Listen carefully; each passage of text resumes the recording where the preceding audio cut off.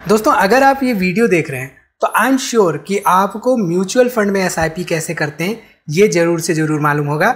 लेकिन stock SIP कैसे करते हैं, ये आप जानना चाहते हैं। तो इस वीडियो में हम डिटेल में बात करेंगे स्टॉक मार्केट में स्टॉक्स में एसआईपी कैसे करते हैं। तो जानने के लिए वीडियो को पूरा देखिए, छोटी सी वीडियो है, टू द पॉइंट है, और यहाँ पर आप बहुत कुछ सीखेंगे शेयर मार्केट इन्वेस्टिंग के बारे में। नमस्कार दोस्तों, मैं हूँ उमेश त्रिपाठी और मैं आपका स्वागत करता हूँ स्टॉक फॉर रिटेल पर, स्टॉक मार्केट से रिलेटेड एक नई जानकारी के साथ। तो शेयर मार्केट में हमारे तीन ब्रॉडर कैटेगरी के स्टॉक्स होते हैं, large cap stocks, mid cap stocks और स्मॉल कैप स्टॉक्स।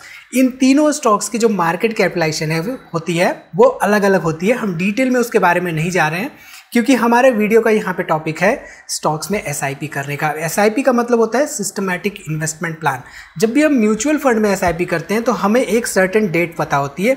उस सर्टन डेट पे हमारे बैंक अकाउंट से कुछ पैसे कट जाते हैं और वो चले जाते हैं उस पर्टिकुलर म्यूचुअल फंड स्कीम में। इन्वेस्ट हो जाते हैं। वहाँ पे बेसिकली हम कुछ यूनिट्स बाई करते हैं और हमारे टोटल जो यूनिट्स होते हैं, उस यूनिट्स में ऐड हो जाते हैं। अब यहाँ पे जब शेयर मार्केट में एसआईपी की बात आती है तो एसआईपी करने का एक ऐसा तरीका है जिसमें कि एक सर्टन बास्केट होती है। उस बास्केट में कुछ सर्टन स्टॉक्स होते हैं और उन स्टॉक्स में एक सर्टेन डेट पर, मान लीजिए कि हर महीने की चौथी तारीख को बाइंग ट्रिगर होती है उन स्टॉक्स में। अब यहाँ पे सबसे बड़ी प्रॉब्लम ये होती है कि जिन स्टॉक्स की एसआईपी हमने लगा रखी है, यानी कि जिन स्टॉक्स में सर्टेन पाँच तारीख को हम बाई करने का ऑर्डर लगा रखे हैं, उन स्टॉक्स में हमें एक अच्छी बाइंग प्राइस नहीं मिल पाती है। तो उससे क्या होता है कि अल्टीमेटली जो हमारा ये शेयर का एसआईपी होता है, वो एक म्यूचुअल फंड जैसे एसआईपी में बदल जाता है, यानी कि हमें म्यूचुअल फंड में जैसे रिटर्न्स मिलते हैं राइट पंद्रह से सत्रह, अठारह परसेंट तक, वैसे ही रिटर्न्स मिलते हैं। और अल्टीमेटली ये एक म्यूचुअल फंड एसआईपी जैसा ही हो जाता है।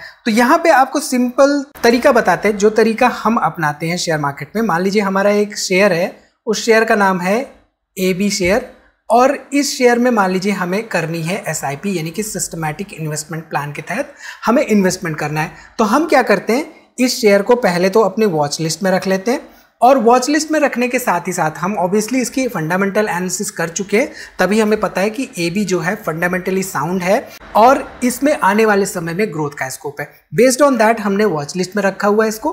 अब हमारी यहाँ पे प्लानिंग ये है कि हम हर महीने इसमें इन्वेस्टमेंट करेंगे। इन्वेस्टमेंट का तरीका यहाँ पे सिंपल एंड क्लियर होगा।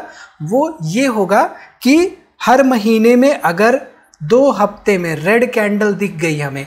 ये यहाँ पे रेड कैंडल है, हालाँकि ग्रीन कलर से यहाँ पे कैंडल बन रही है बट स्टिल इसको आप रेड कैंडल समझिए।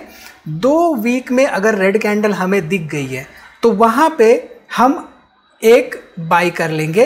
इस पर्टिकुलर ए बी स्टॉक में उस महीने हमारी बाइंग हो जाएगी।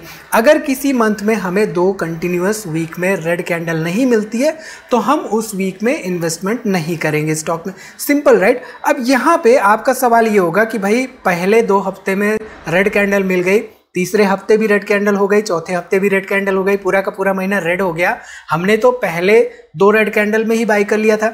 अब वहाँ पे क्या होगा कि उस सर्टेन मंथ में हमारी दो एसआईपी चली जाएँगी। यानी कि हमारा जो अल्टीमेटली एवरेज बाइंग प्राइस है, वो हमें कम करना है। मान लीजिए, एक ही महीने में चारों रेड कैंडल फॉर्म हो गई तो हमने यहाँ पे भी बाई कर लिया, हमने यहाँ पे भी बाई कर लिया। अब सिंस ये फंडामेंटली स्ट्रॉन्ग स्टॉक है फंडामेंटली स्ट्रॉन्ग स्टॉक का एक इंपॉर्टेंट रूल ये होता है कि ये आपको हाइयर हाइज हाइयर लोज वाला पैटर्न बना के देते हैं। यानी कि कुछ ऐसा चार्ट पैटर्न बनता है कि हमेशा चार्ट प्राइस ऊपर की तरफ़ ही जाता है लॉन्ग टर्म में, और गिरावट होने के साथ एक नया हाई बनाता जाता है। तो मान लीजिए हमने यहाँ पे इन्वेस्टमेंट कर दिया, दूसरी रेड कैंडल पे, फिर हम जब यहाँ पे इन्वेस्टमेंट कर रहे होंगे तो कहीं ना कहीं लो के आसपास इन्वेस्टमेंट कर रहे होंगे।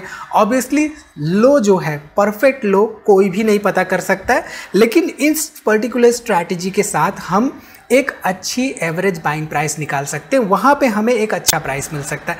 अब इस पे आपका ये सवाल होना चाहिए कि चलो ठीक है एवरेज बाइंग प्राइस अच्छा तो मिल रहा है, लेकिन हमें रिटर्न्स कैसे मिलेंगे यहाँ पे? तो रिटर्न्स ऑब्वियसली यहाँ पे आप देख सकते हैं कि सिंस ये फंडामेंटली स्ट्रॉन्ग स्टॉक है और लॉन्ग टर्म में यहाँ पे एक हाइयर हाइज हाइयर लोज वाला पैटर्न बन रहा है तो लॉन्ग टर्म में ऐसे स्टॉक्स ए बी जैसे स्टॉक्स एक अच्छा रिटर्न्स देने का पोटेंशियल रखते हैं। ठीक है, अब यहाँ पे इस एग्ज़ाम्पल को क्लियर वे में समझ लेते हैं, तब आपको समझ में आएगा कि वाकई में इस पर्टिकुलर तरीके को कैसे हमें इस्तेमाल करना है एस के ज़रिए इन्वेस्टमेंट करने के लिए। अब यहाँ पे ध्यान दीजिए तो आप देख सकते हैं, यहाँ पे आपको दिसंबर के महीने में दो लगातार रेड कैंडल मिली, यहाँ पे एक बाइंग हो गई, फिर यहाँ पे रेड कैंडल मिली बाइंग हो गई, फिर रेड कैंडल मिली बाइंग हो गई। तो यहाँ पे आप देख रहे होंगे कि आपको लगातार रेड कैंडल्स मिल रही थी। तो ऐसे में क्या हुआ है कि प्राइसेस नीचे की तरफ़ जा रहे हैं, लेकिन आपको पता है कि ये फंडामेंटली स्ट्रॉन्ग स्टॉक है। अगर यहाँ पे हम देखें एक मंथ के कैंडल स्टिक चार्ट पर, इसको अगर हम कर दें एक मंथ का कैंडल स्टिक चार्ट तो एक मंथ के कैंडल स्टिक चार्ट पर यहाँ पे क्लियरली आप देख सकते हैं कि लॉन्ग टर्म में इस स्टॉक ने मल्टी बैगर रिटर्न दिए हैं। इस स्टॉक ने यहाँ पे देखें तो आपको एक हाइयर हाइज हाइयर लोज वाला पैटर्न बना के दिया तो ऐसे में किन्हीं दो हफ्तों में लगातार आपको रेड कैंडल दिख जाती है तो सिंस आपको मालूम ही है कि भाई आगे चलकर प्राइसेस मेरी बाइंग प्राइस से ऊपर जाने ही जाने हैं तो क्यों ना मुझे एक अच्छी एवरेज एवरेज बाइंग प्राइस मिले राइट तो ऐसे में हमें ना सिर्फ़ एक अच्छा एवरेज बाइंग प्राइस मिलता है, बल्कि आने वाले समय के लिए हमें एक पोटेंशियल भी दे जाता है हमारी पोर्टफोलियो को स्ट्रांग बनाने के लिए। ठीक? चलिए, हमने यहाँ तक समझ लिया राइट एक इंपॉर्टेंट पॉइंट जो कि हम मिस कर देते हैं इन्वेस्टिंग करते समय, वो ये होता है कि हमें अपनी पोर्टफोलियो को डाइवर्सिफाई भी करके रखना होता है। तो जब भी हम एसआईपी कर रहे हैं सिस्टमैटिक इन्वेस्टमेंट प्लान के ज़रिए इन्वेस्टमेंट कर रहे हैं तो वहाँ पे जैसे कि हमने एक स्टॉक सेलेक्ट किया था ए बी दूसरा स्टॉक जब हम सेलेक्ट कर रहे हो तो कोशिश हमारी ये होनी चाहिए कि सिमिलर इंडस्ट्री का ना हो, वो दूसरी इंडस्ट्री का हो, ताकि हम अपनी पोर्टफोलियो को डाइवर्सिफाई कर सकें और ऐसी सिचुएशन में डाइवर्सिफिकेशन की सिचुएशन में लॉन्ग टर्म में वहाँ पे पोर्टफोलियो को स्ट्रांग बना सके। ठीक है? चलिए, इसके साथ ही साथ कुछ ईटीएफ्स e भी हमारी पोर्टफोलियो में रह सकते हैं। ईटीएफ्स e का यानी कि एक्सचेंज ट्रेडेड फंड्स ईटीएफ्स क्या होते हैं? डिटेल में हमने ऑलरेडी डिस्कशंस कर रखे हैं। आप जस्ट टाइप करिए स्टॉक फॉर रिटेल ईटीएफ आपको वीडियो मिलेगी, आप उसे सीख सकते हैं कि एक्सचेंज ट्रेडेड फंड्स में हम कैसे इन्वेस्टमेंट करते हैं। तो बेसिकली हमारी पोर्टफोलियो में तीन तरह के स्टॉक्स रहेंगे। पहला, यहाँ पे एक मिक्स रहेगा। मिड कैप, लार्ज कैप और स्मॉल कैप का फंडामेंटली स्ट्रॉन्ग स्टॉक्स। दूसरा यहाँ पे रहेगा डिफरेंट सेक्टर के स्टॉक्स, यानी कि यहाँ पे सेक्टरल बेस्ड डाइवर्सिफिकेशन रहेगा। और तीसरा यहाँ पे रहेगा ईटीएफ्स e अब यहाँ पे आपका आर्गुमेंट हो सकता है कि नहीं भाई गोल्ड भी हमें चाहिए सिल्वर भी हमें चाहिए। तो आप चाहें तो गोल्ड ई या सिल्वर ई भी वहाँ पे इन्वेस्टमेंट करने के लिए ऑप्ट कर सकते हैं। ठीक है? हालाँकि यहाँ पे किसी तरह का रिकमेंडेशन नहीं है कि आप जस्ट ये करिए, वो करिए। यहाँ पे based on certain SIP techniques जो कि मैं पर्सनली फॉलो करता हूँ, मैं आपके साथ वो शेयर करने की कोशिश कर रहा हूँ। ठीक? चलिए, अब यहाँ पे एक सिंपल स्क्रीनर देखते हैं। इस स्क्रीनर के ज़रिए बेसिकली हमें कुछ ऑप्शंस मिल सकते हैं, जहाँ पे हम फर्दर डीप एनालिसिस कर सकते हैं और उसके बाद हम डिसाइड कर सकते हैं कि वेदर किस तरह के स्टॉक्स में हमें लॉन्ग टर्म के लिए एसआईपी मोड के लिए जाना चाहिए। तो यहाँ पे बेसिकली हमारे पास ऐसे स्टॉक्स होने चाहिए, जिनका कि मार्केट कैपिटलाइजेशन बेसिकली यहाँ पे कम से कम दस हज़ार करोड़ से ज़्यादा हो। और इसके साथ ही साथ रिटर्न ऑन इक्विटी यहाँ पे बेसिकली देखें तो रिटर्न ऑन इक्विटी पिछले पाँच सालों का यहाँ पे ट्वेंटी परसेंट से ज़्यादा हो और इसके साथ ही साथ रिटर्न ऑन कैपिटल एम्प्लॉयड यहाँ पे देखें तो इसको भी हम कर देते हैं, पिछले पाँच सालों का return on capital employed average पिछले पाँच सालों का यहाँ पे ट्वेंटी से ज़्यादा हो और इसके साथ ही साथ कंपनी डिविडेंट अगर दे रही हो डिविडेंट ईल्ड अगर एक से ज़्यादा हो तो हमारे लिए वो प्लस पॉइंट होता है और डिविडेंट ईल्ड एक से ज़्यादा होने का मतलब सीधे सीधे हम कह सकते हैं कि कंपनी का पास ट्रैक रिकॉर्ड जो है प्रॉफिटेबल हो। कंपनी प्रॉफिटेबल होती है ऑब्वियसली तो वहाँ पे हाइयर हाइज हाइयर लोज बनने के चांसेस ज़्यादा होते हैं। और इसके साथ ही साथ यहाँ पे कंपनी का जो डेट टू इक्विटी है, वो एक से कम हो। यहाँ पे अगर हम 0.5 कर दें तो वो ज़्यादा अच्छा रहेगा। और इसके साथ ही साथ कंपनी का सेल्स ग्रोथ जो है पिछले पाँच सालों का पंद्रह से ज़्यादा हो। और प्रॉफिट ग्रोथ यहाँ पे पिछले पाँच सालों का देखें तो पंद्रह से ज़्यादा हो। तो यहाँ पे ये जो पर्टिकुलर क्वेरी है, हम इस क्वेरी को रन करेंगे तो हमें कुछ सर्टेन स्टॉक्स मिलेंगे। अब यहाँ पे हम वो स्टॉक्स आपसे डिस्कस नहीं करने जा रहे हैं, क्योंकि अगेन ये एक तरह का फिर से रिकमेंडेशंस में चला जाएगा, जो कि हम बिल्कुल नहीं कर रहे हैं।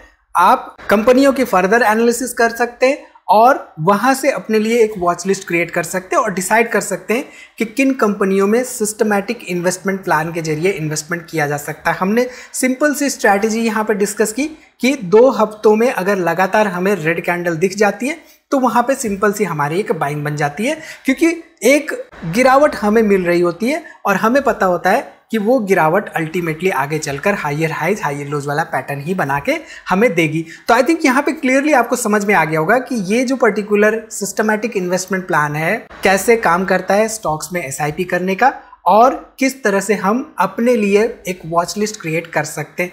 तो इस वीडियो में फ़िलहाल इतना ही दोस्तों। उम्मीद है वीडियो आपको पसंद आई होगी इसमें दी गई जानकारी आपके काम की होगी। अगर ये जानकारी आपको पसंद आई है तो लाइक ज़रूर करिए।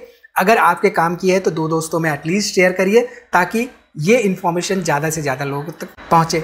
तो वीडियो को लाइक करिए, कोई भी सवाल हो तो कमेंट ज़रूर करिए। और दोस्तों एज यूजल ये इन्फॉर्मेशन किसी तरह का बाइंग सेलिंग एडवाइस बिल्कुल नहीं है। हम आप लोगों के लिए इन्फॉर्मेशन ला रहे हैं ताकि आप भी स्टॉक मार्केट के बारे में सीख सकें।